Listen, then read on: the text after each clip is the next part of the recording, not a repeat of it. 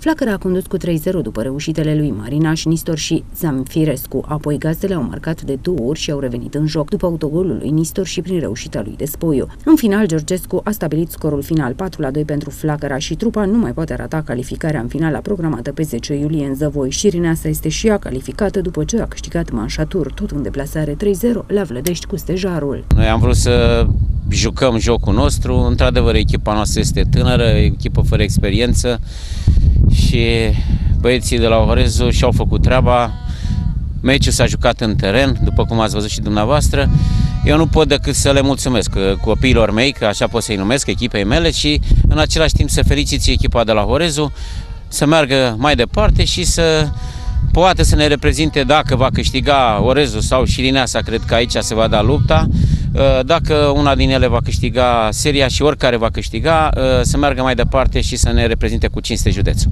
Personal sunt, voi fi alături de acești copii, de această echipă, de băbeni, pentru că am vrut, întotdeauna am vrut să, să, să fim acolo și noi sus și după cum se vede suntem în primele patru.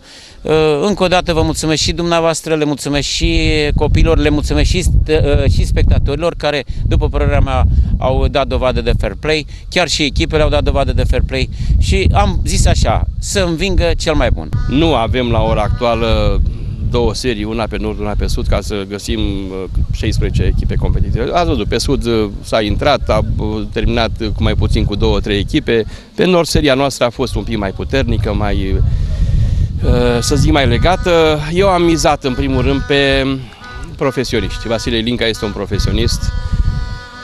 Băieții efectiv au făcut în ultimul timp trei antrenamente pe săptămână, adică tot anul 2015 trei antrenamente pe săptămână înseamnă ceva.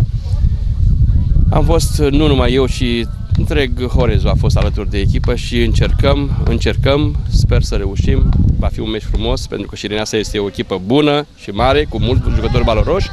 Eu contez totuși pe coeziunea uh, uh, trupei de la Flacăra Horezu și pe faptul că și aceste meciuri foarte, foarte puternice îi antrenează, îi, îi motivează.